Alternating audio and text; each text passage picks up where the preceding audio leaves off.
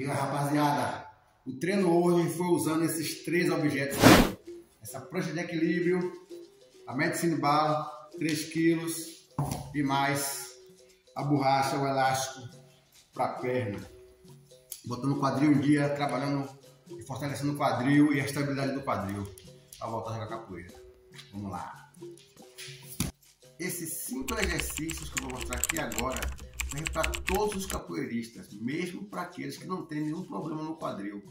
São exercícios preventivos de reforço muscular, que com certeza pode evitar que no futuro você tenha alguma lesão no seu quadril. Então, já vai deixando o like, mas eu prefiro que você se inscreva, porque com certeza você já assistiu vários vídeos nesse canal e ainda não está inscrito. Nesse exercício eu trabalho a elevação de quadril. Eu levanto as pontas dos pés, ficando nos calcanhares, fazendo assim um nível mais avançado, né, para poder fortalecer a musculatura mais profunda das nádegas, do quadril, da coxa. E com a medicina bola de 3 kg né, nas mãos, faz com que o meu corpo todo esteja ativo, né? O corpo trabalhando como um sistema, o que é muito importante.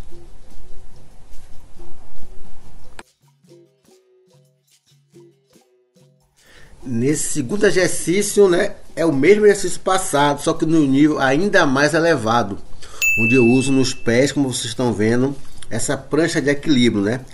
Onde o, o, o esforço que eu faço para me manter nessa posição é muito maior, trabalhando com muito mais intensidade, né? Toda essa, toda essa musculatura mais profunda que eu acabei de falar. E com a medicine bola na mão, né, lá em cima, faz com que meu corpo todo esteja trabalhando.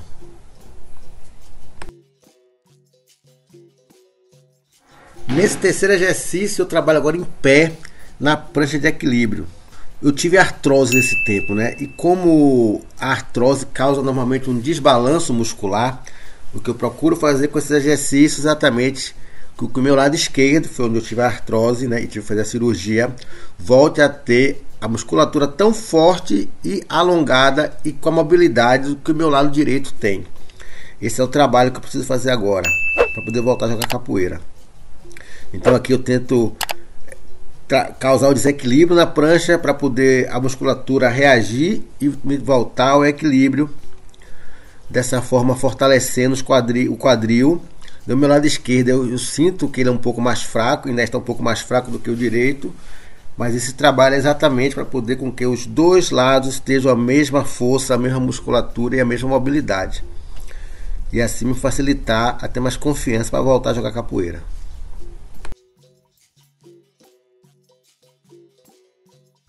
Bem, nesse quarto exercício eu vou já para uma parte mais específica da capoeira, né?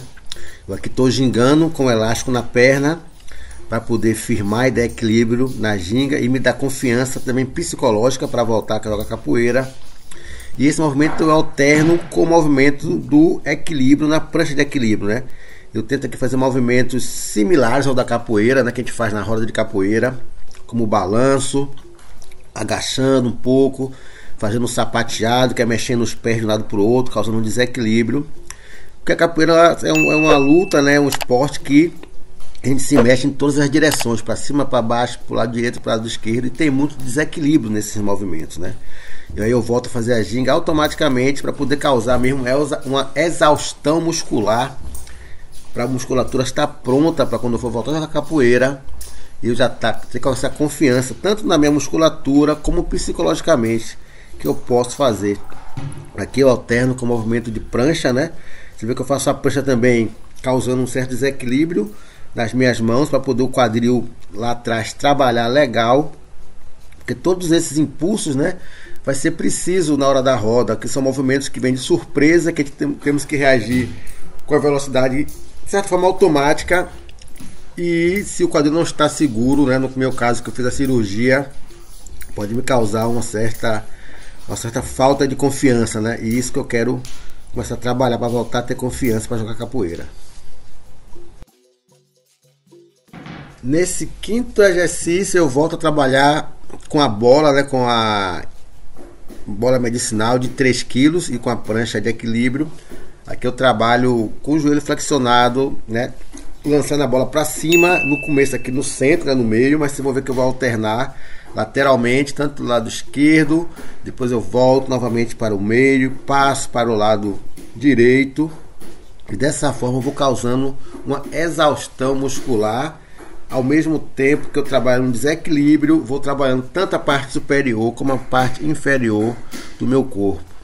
Aqui eu vou alternando agora do lado esquerdo ao lado direito para forçar cada vez mais a parte muscular com equilíbrio, desequilíbrio, né, de uma forma lenta, jogando de um lado para o outro. Agora eu fico só de um lado, jogando a bola, depois eu troco para o outro lado e começo novamente a, a jogar a bola para cima e para baixo. E de certa forma eu tento fazer sempre algumas vezes a mais do lado, direito, do lado esquerdo do que do lado direito, porque o lado esquerdo é o que eu preciso forçar ou reforçar mais, né? Por causa dessa estabilidade. E tento criar situações, assim, né? Movimentos que me deu desequilíbrio, ainda mais com essa agora que eu tô com a bola, que é um peso a mais, para poder trabalhar realmente na exaustão muscular, para poder depois a musculatura estar firme e reforçada para eu voltar a jogar capoeira com confiança, né? É um trabalho forte e pesado. E além dos exercícios de reforço muscular, eu faço também muito alongamento e exercícios de mobilidade, que estão aqui nesse vídeo. E aos poucos, eu estou voltando a jogar capoeira.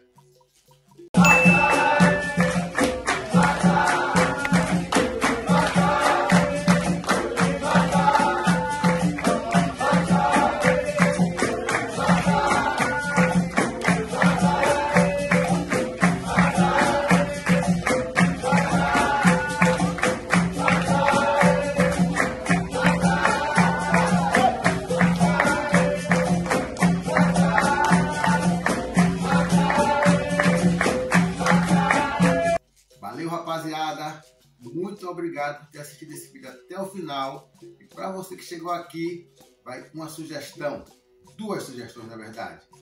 Uma playlist e um vídeo. Com certeza vocês vão gostar.